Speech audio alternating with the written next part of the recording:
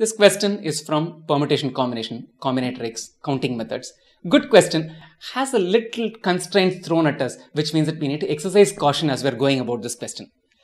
How many even three digit positive integers with distinct digits are there?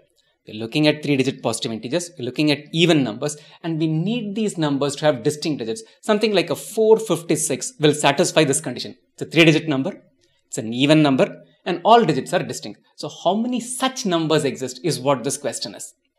Uh, these are the two fact constraints to keep in mind. The digits should be distinct and the number should be even. We'll break this count into two steps. Step 1, I'm going to count all of those three digit numbers which are even numbers with distinct digits that have in the hundreds place an odd number. Just give you an example. Numbers like 146 is an example of this, right? The odd hundreds place is an odd number. It's an even number. 146 is an even number. All three digits are distinct digits. So let's establish three places for this first count. Step one, how many such numbers exist? Let's see. The hundreds place is an odd number. So what all values can I take? It can take a 1, 3, 5, 7 and 9. So there are 5 possibilities for the hundreds place. We'll come to the tens place in a while. Keep it in other ends. Let's go to the units place. The given number is an even number. So the unit digit has to be even for the number to be an even number. What all possible values exist? 2, 4, 6, 8 and it can also be a 0. 0 is an even number. So how many possible values exist for the units place? We have 5 possible values for it. These two are mutually exclusive sets, disjoint sets, not mutually exclusive, disjoint sets. There's nothing common between 13579 and 24680. So we don't need to bother about if I pick one, would I have not, would I have to consider the fact that it should not appear in the units place, right? Now, how many possible cases exist for the tens place? You can take any value from 0 to 9. Actually, it's got 10. But the distinct digits that constraint comes into picture. Therefore, it cannot take a value that appeared in the hundreds place nor can it take the value that appears in the units place. So two values are removed from it. So how many possible values exist for the tens place? We have eight possible values. So 5 times 8 times 5, that's a number of numbers which are three digit numbers, which are even numbers that start with an odd number or the hundreds place is an odd number. So step 1 done. So we'll compute this value in a while, not to worry. 40 into 5 which is equal to 200 such numbers exist. The step 2 count, we are going to count those three digit numbers where the digits are distinct those are even numbers and the hundreds place is even too. So again, let's run through these three distinct locations. We are talking about the hundreds place. We'll start by fixing a value for the hundreds place. It cannot be a zero. So it can take only values which are 2, 4, 6, 8. So it's an even number.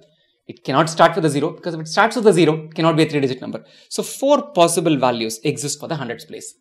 Let's quickly round up the units place before coming to the tens.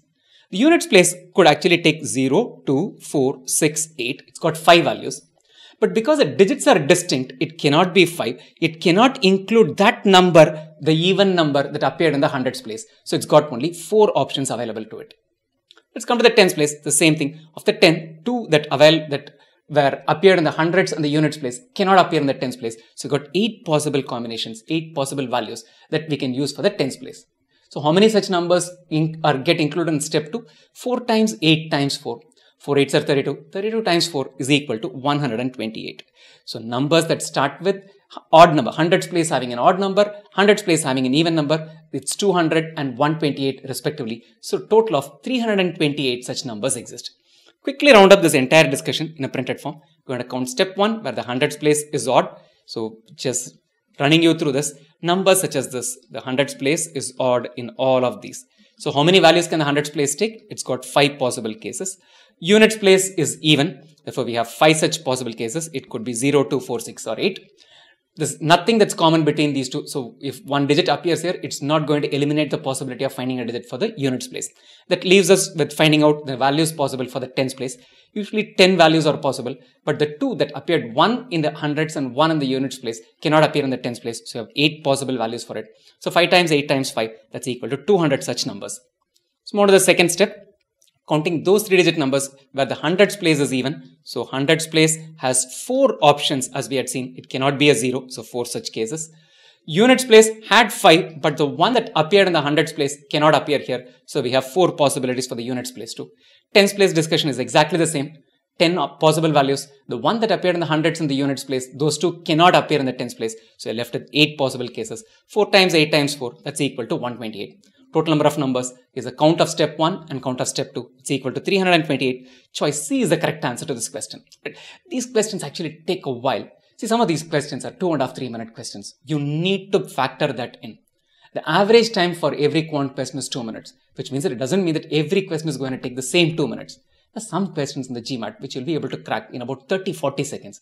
The time that you save there, right? That's a providence that you've got to be used in questions such as this, which are going to take you about three minutes. Before you leave, two things. Sign up as a trial user at wzko.in slash core. It's one of the most comprehensive online GMAT course Get started with a free topic, statistics and averages. Build momentum to your GMAT preparation. Subsequently, pay up and unlock the remaining topics. Lastly, subscribe to the channel youtube.com slash wizako and spread the word among your friends who are preparing for GMAT. You may also choose to join this channel as a member for a small monthly fee and enjoy member only perks that come with it and will help you boost your GMAT preparation.